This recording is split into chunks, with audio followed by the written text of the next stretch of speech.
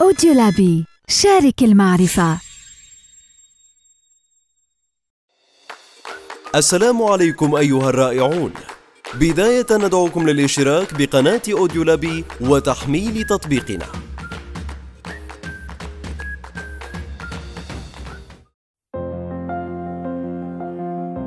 خمس أسس تقوم عليها عملية بناء الثروة لسنوات طويلة بحث روبرت كيوساكي في مبادئ الثراء وأسس بناء الثروة وكان يؤمن بأن أفضل استثمار يمكن أن يحققه المرء يكون عن طريق الإمعان في التفكير لفهم الفلسفة التي تسير بها الشؤون المالية للفرد.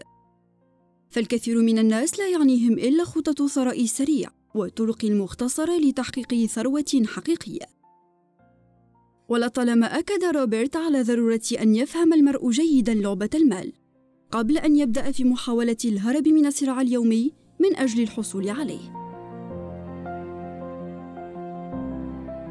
الثراء المالي ليس فقط لأصحاب الدخل المادي المرتفع، ولا يقتصر على أشخاص دون آخرين، بل هي لعبة ذكاء جميعنا يخوضها، والأغلب يخسر فيها. وقد حدد روبرت كيوساكي في كتابه الذائع الصيت الأب الغني والأب الفقير نذكر لكم فيما يلي أسس النجاح المالي الخمسة التي تقوم عليها عملية بناء الثروة وتحقيق الحرية المالية. قبل أن نكمل وفي هذا السياق، ندعوكم للاستماع إلى الحزمة الكاملة من برمج عقلك على الثراء. توكيدات إيجابية صوتية لبرمجة عقلك الباطن.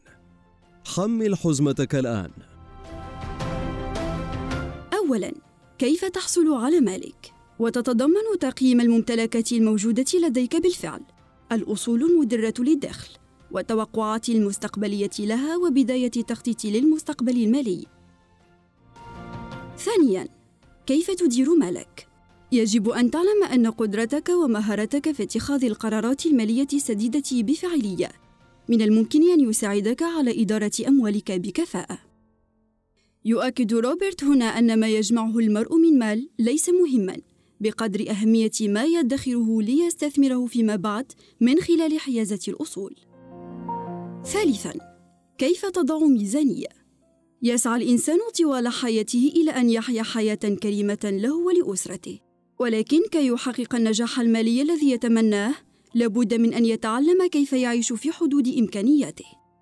تعرف على كيفية وضع ميزانية للراتب. رابعاً، كيف تنمي مالك؟ بينما تعمل على زيادة ذكائك المالي، يجب أن تدرك أن أهم أساسيات الثراء هي أن تجعل المال يعمل من أجلك. سيساعدك التعرف على الطرق الثلاثة الرئيسية للحصول على المال، في اختيار الاستراتيجية التي ستمكنك من كسب المال بقدر أكبر. خامساً، كيف تزيد ثقافتك المالية؟ هناك حاجة إلى ثقافة مالية في عالم يتسم اليوم بالعديد من التحولات الاقتصادية المتسارعة. يجب على كل فرد أن يتعلم القوانين التي تحكم بناء الثروة. كلما تعلمت أكثر، كلما زادت قدرتك على بناء وتنمية ثروتك. في عام 97 و900 وألف صدر الكتاب الأول لروبرت كيوساكي الأب الغني والأب الفقير الذي أسهم في تغيير الطريقة التي ينظر بها عشرات الملايين حول العالم إلى المال. تناول فيه بشكل أساسي أهمية التعليم المالي.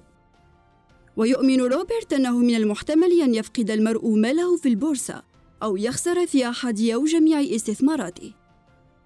كما أن المال يمكن أن تهبط قيمته ويخسر الجميع حتى أكثر الناس حرصًا على الادخار.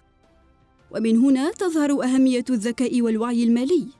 فهو أهم الأصول المالية التي يمتلكها المرء على الإطلاق وواحد من أساسيات الثراء. ويوضح أننا في أوقات الشدة نجد أن الذكاء المالي والثقافة المالية أكثر قيمة من الذهب. استمع إلى أروع المقالة الصوتية وحملها مجانا عبر تطبيق أوديولابي